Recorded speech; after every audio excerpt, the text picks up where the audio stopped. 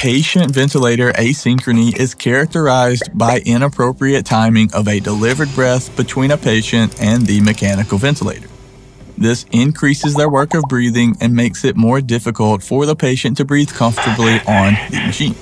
This is a topic that you must be familiar with, which is why in this video we're going to break down a sample TMC practice question that requires you to interpret the patient's signs and symptoms to figure out what's going on.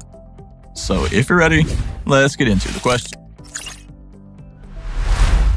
A 58 year old female patient is intubated and appears to be breathing asynchronously with the ventilator. Her breath sounds are absent on the left side, and the trachea is shifted to the left. The patient has a dull percussion note on the left side as well. Which of the following is the most likely explanation of these findings? A. A tracheoesophageal fistula has developed. B. A tension pneumothorax has developed on the left side. C. The endotracheal tube is in the right mainstem bronchus. Or D. The patient is experiencing diffuse bronchospasm. To get this one correct, you needed to be able to interpret the information that was provided in the question.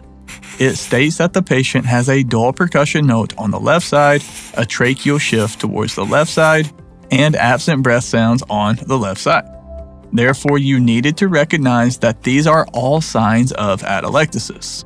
So now you have to think what could possibly be the cause of this atelectasis. And in this case, the endotracheal tube has likely slipped into the right mainstem bronchus, which has resulted in left-sided atelectasis.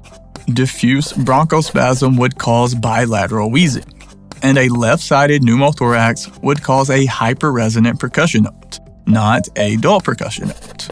So by reading the question carefully and breaking down all the details that were provided, we could determine that the correct answer has to be C the endotracheal tube is in the right mainstem bronchus. If you enjoy practice questions like this, definitely consider checking out our TMC test bank. It's a massive bank of practice questions with helpful explanations like this one that students are using to pass the TMC exam. It also comes with 4 plus sample TMC practice exams to help you test your knowledge and prepare for the real thing. If you're interested, I'll drop a link below this video if you want to learn more including some helpful premium bonuses that are only included for a limited time. But if you want to support the channel, please like and subscribe, I would greatly appreciate it. And there should be some other helpful videos popping up on your screen right about now that I think you will enjoy. And just a quick reminder, we are not doctors, this video is for informational purposes only. Thank you so much for watching, have a blessed day, and as always, breathe easy my friend.